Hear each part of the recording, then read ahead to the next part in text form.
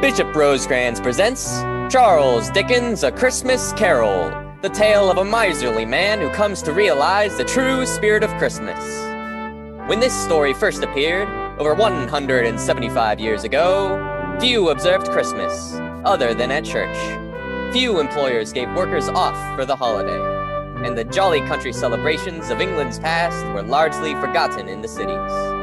But this little story helped transform Christmas from a staid religious holiday into the joyous season of faith, feasting, and goodwill it is to this very day. Dickens' ghost story of Christmas opens in London on a cold, snowy December 24th in the year 1843.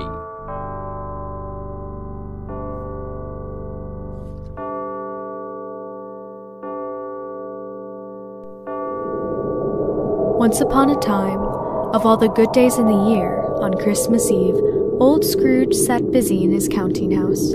Ebenezer Scrooge was a squeezing, wrenching, grasping, scraping, clutching, covetous old sinner, a hard hearted miser.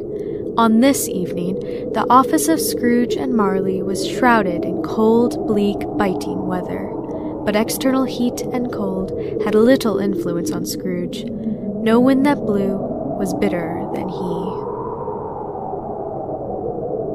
God bless you, merry gentlemen. Let to his reign.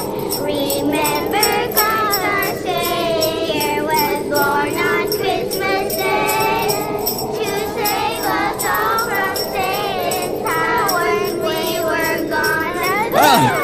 Bah! Merry Christmas! Humbug! Begone, you miserable little beggars! Take your infernal Christmas carols and get away from my door! Sorry, sir. Merry Christmas, though, sir. Bah! And you, nephew, what right have you to be merry? You're poor enough. Merry Christmas! Bah! Humbug! Christmas? A humbug? Uncle? You don't mean that, I am sure. What right have you to be dismal about Christmas? You're rich enough. Don't be cross, Uncle. What else can I be, Fred, when I live in such a world of fools as this? Merry Christmas! If I could work my will, every idiot who goes about with Merry Christmas on his lips would would be boiled with his own pudding, ha!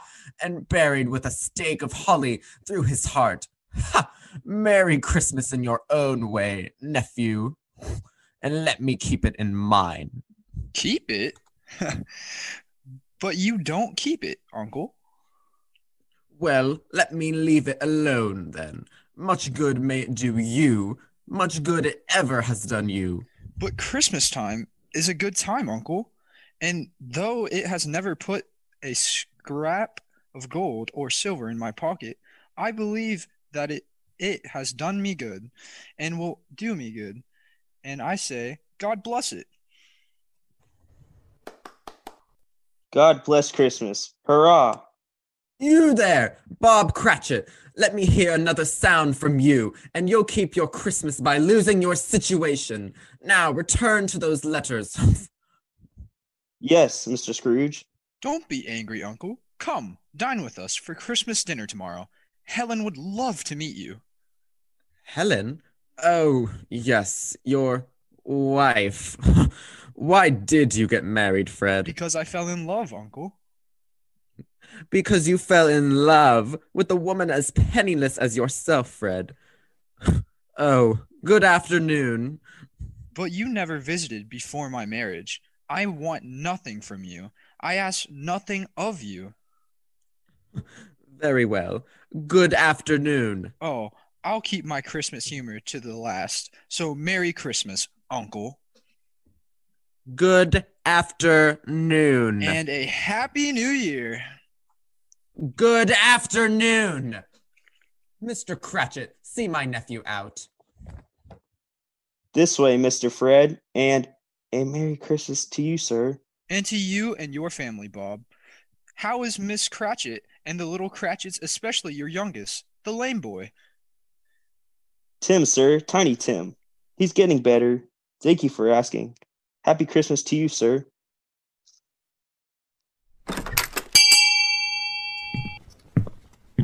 Um, to to see you, sir. Good day, sir. Have I the pleasure of addressing Mr. Scrooge or Mr. Marley? Mr. Marley, my partner, has been dead these seven years. In fact, he died seven years ago this very night. I am Ebenezer Scrooge.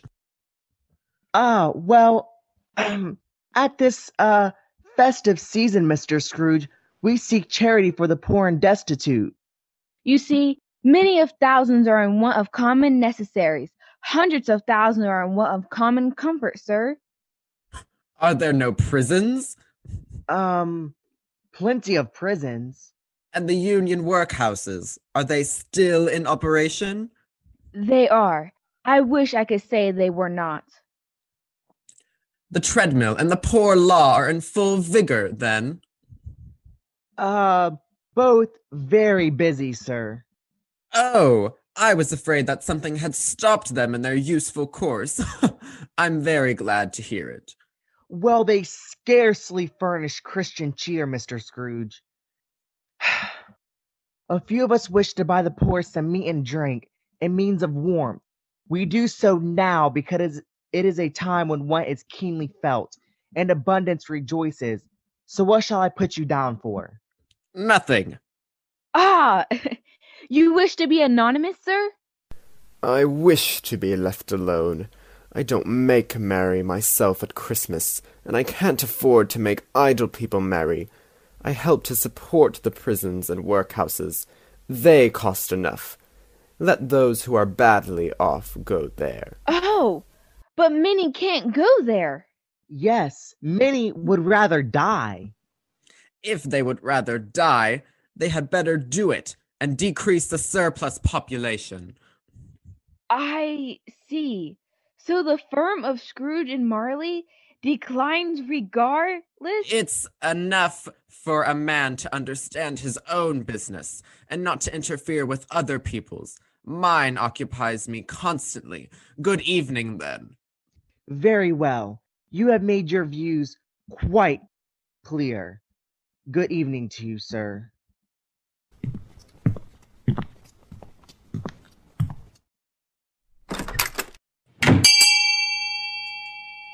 Mr. Scrooge? It's seven o'clock, sir, and it's Christmas Eve. So? Oh, I suppose you'll want all day tomorrow, uh, Mr. Cratchit? It's quite convenient. It's not convenient, and it's not fair. You don't think me ill used when I pay a day's wages for no work. Tis but once a year, sir.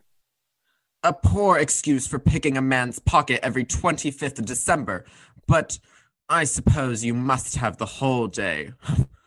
Be here all the earlier the next morning, Mr. Cratchit. I will, sir. Thank you, and Merry Christmas.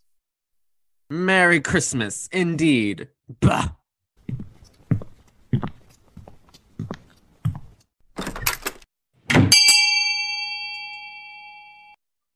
And that concludes episode one of A Christmas Carol. Tune in next time where Scrooge will meet some unexpected guests, including an old partner he'd long forgotten.